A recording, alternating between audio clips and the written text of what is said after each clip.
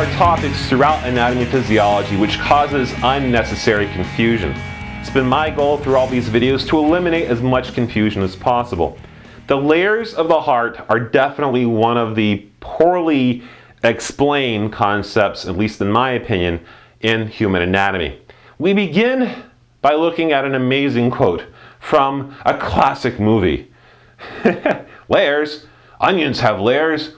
Ogres have layers. Onions have layers. You get it? We both have layers. Oh, you both have layers? Oh, you know, not everybody likes onions. What about cake? Everybody loves cake. I am giving the layers as much seriousness as they deserve. Folks, this is easy. Trust me, we'll get through this. But let's freak you out for just a second by throwing a graphic up that shows the complicated layers. We can see we have something called the fibrous pericardium, the serous pericardium, the parietal layer, the pericardial cavity, the visceral layer or the epicardium, the myocardium, and the endocardium. Again, it sounds a lot more confusing than it actually is. The heart just doesn't sit in the thoracic cavity. Just if you open up a cadaver or if you do heart surgery for fun or profit, your choice, um, if you open up the thoracic cavity, you're not just going to go, oh, hey, there's the heart. It's actually surrounded by a bag. This bag for the heart, the heart bag, is there to protect the heart. This bag has a more specific name. Obviously, we can't call it the heart bag. Um, if you do, you really need to, or if your doctor does, you really need to find a different medical insurance. Um, but it's not just called the heart bag, it's called the pericardium. Pericardium. That's the technical name for the heart bag. The heart is found within this bag. The pericardium is a double walled sac which encloses the heart.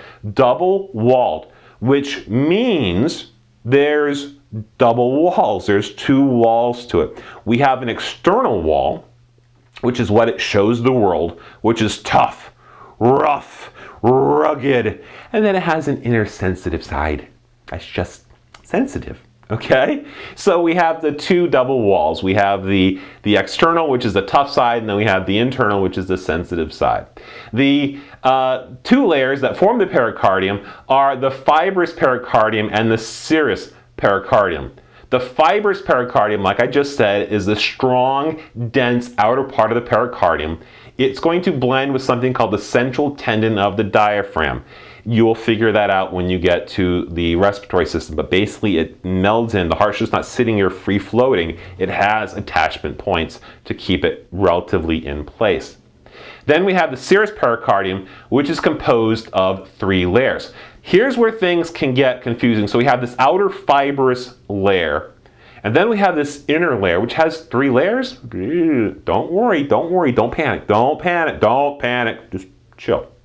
The pericardium. So we have the uh, serous pericardium, which covers and encases the heart. Again, we said it was made of a couple of layers. We have the parietal layer and the visceral layer, and we have a space in between called a cavity. A cavity is a hole. It's an opening. Okay, if you have a cavity in your tooth, you have a hole in your tooth. If you have a cavity in your skull, which we have several, those are openings, those are holes.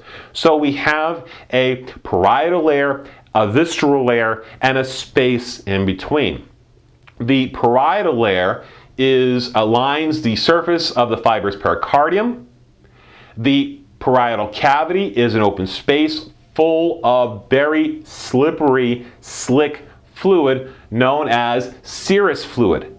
This fluid is there to prevent friction. If you take your hand, okay, pretend this hand is your heart, and just rub it against your other hand, that will get sore after a while.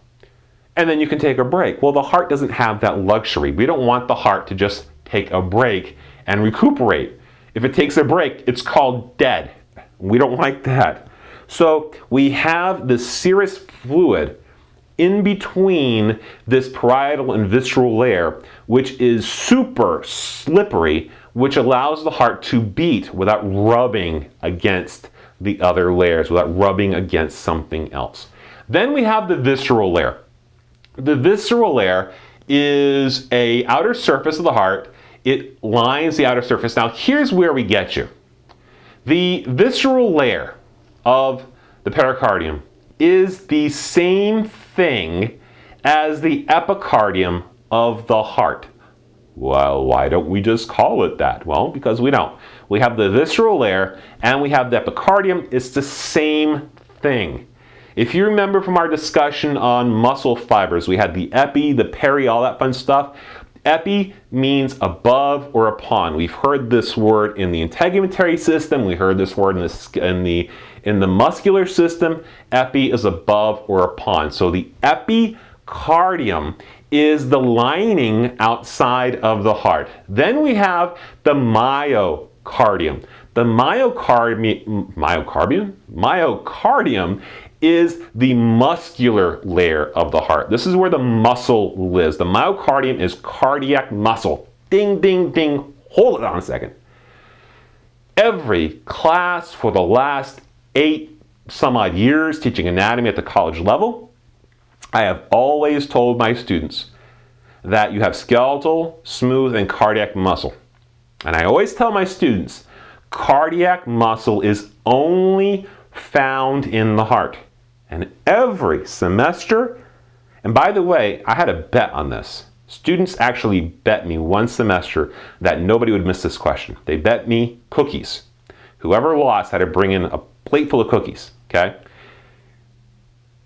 The smooth muscle is in the blood vessels, cardiac muscle is only found in the heart. And on the exam, there was a question about that. Cardiac muscle is found where? A, skeletal muscle. B, heart. C, heart and blood vessels, etc., etc. And I always had a student miss it. And so, long story short, I had students bring in plates of cookies. So nobody ever takes me up on that bet again. But you won't make that mistake. Okay, the myocardium is cardiac muscle, and cardiac muscle is only found in the heart. Then moving in even further, we have endo. Again, a word you should be familiar with, endo, endocardium. This is going to line the inside. So let's take a look at the technical definitions of these three things. We have the epicardium, which is the visceral of the heart, also known as the visceral layer of the serous pericardium. It's composed mainly of simple squamous epithelial cells over a thin layer of areolar tissue. The myocardium, like I said a little while ago, is the cardiac muscle. It's the thickest of the three layers. And then we have the endocardium, which is smooth epithelial. It lines the inside of the heart, covers the surface of the valves, continues on as the endothelium in the blood vessels. So those were our layers broken down. Hopefully they make sense. Hopefully this is not going to be that much of a challenge because it really isn't. In the next video, we're going to take a look at the chambers of the heart. We're going to take a look at the left and right atria. We're going to take a look at the left and right ventricle and what goes on in those openings.